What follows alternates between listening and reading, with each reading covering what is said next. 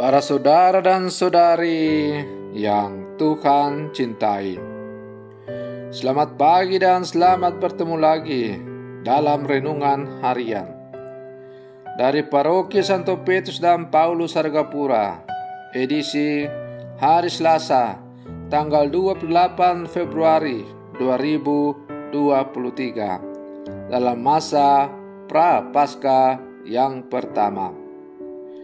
Mengawali hari yang baru ini, kita hendak mendengar dan merenungkan sabda Tuhan. Marilah sebelum kita mendengar dan merenungkan sabda Tuhan, kita berdoa. Dalam nama Bapa dan Putra dan Roh Kudus. Amin.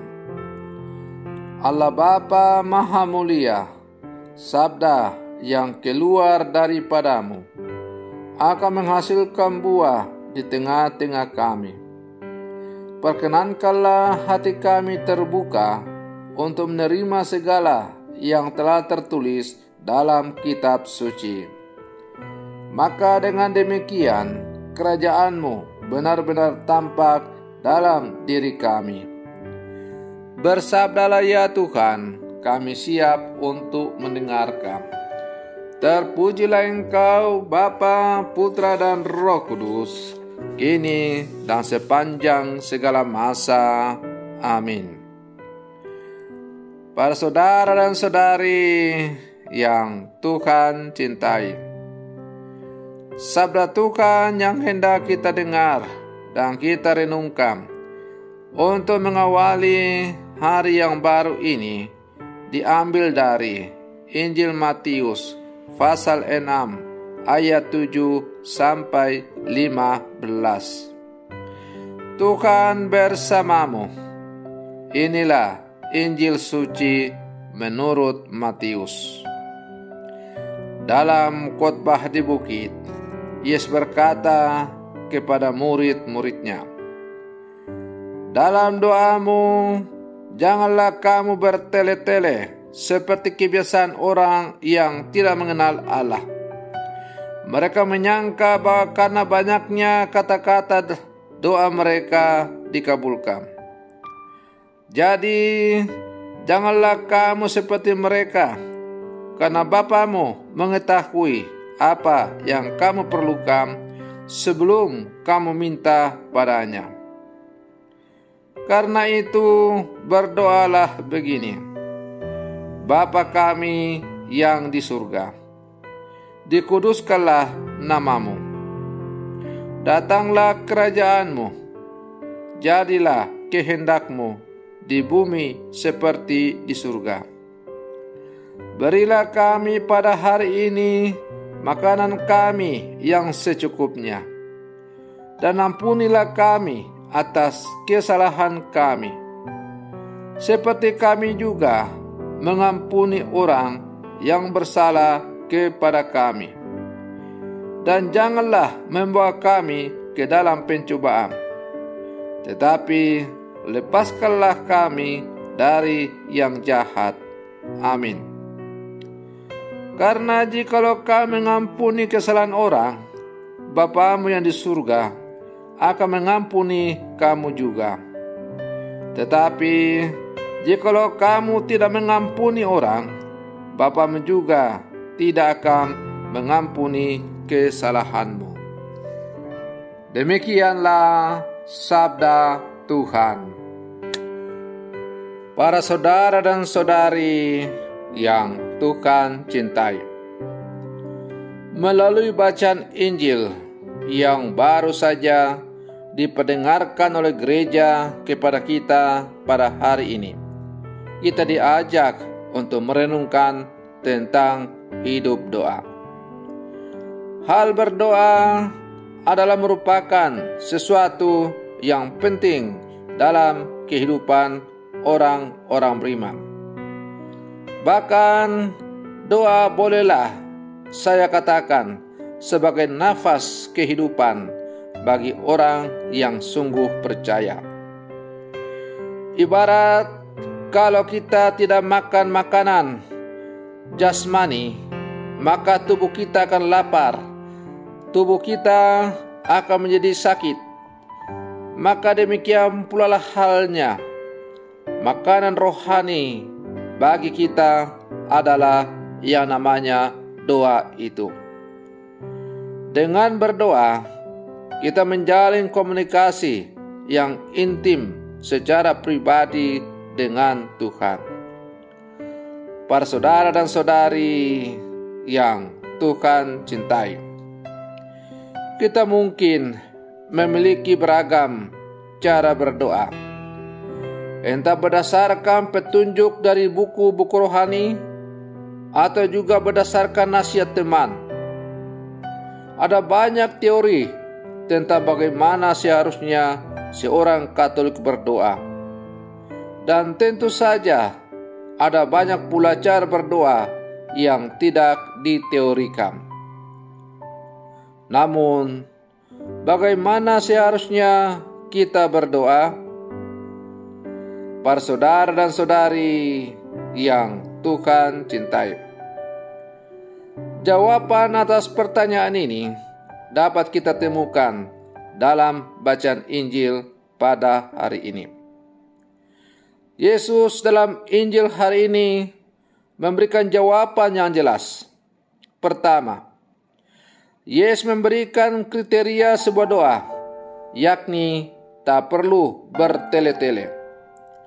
Doa tak harus panjang-panjang, sebab Tuhan sudah mengetahui apa yang hendak kita ucapkan. Doa yang bertele-tele itu kerap dipraktikkan oleh para Farisi. Doa seperti itu penuh bualan dan kemunafikan.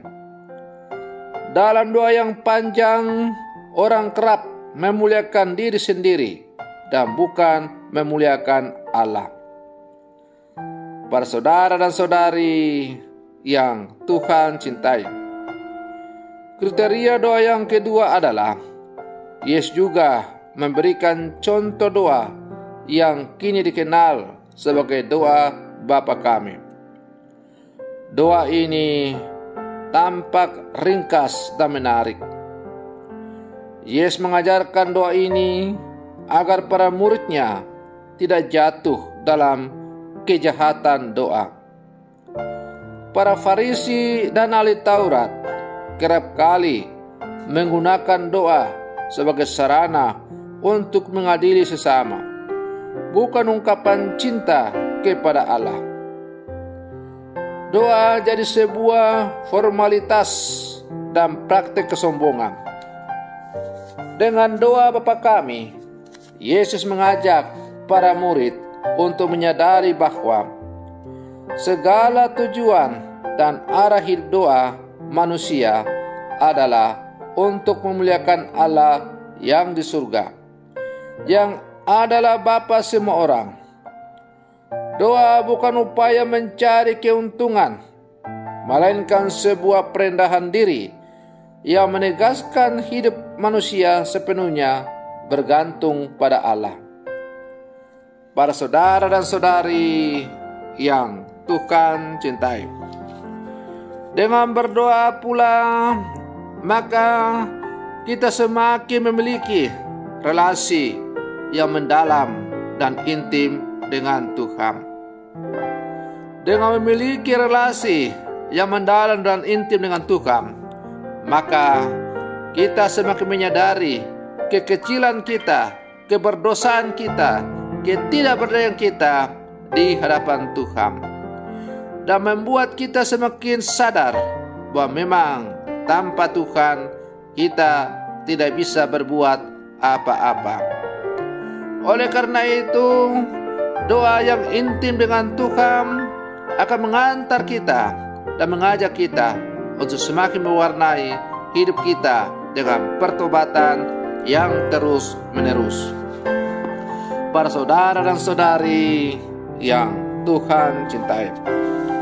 Bertobat bukan hanya berarti mengubah hidup kita, tetapi juga mengubah fokus perhatian kita, yaitu yang dari semula mengandalkan kekuatan kita sendiri menjadi percaya dan mengandalkan kuasa dari Tuhan.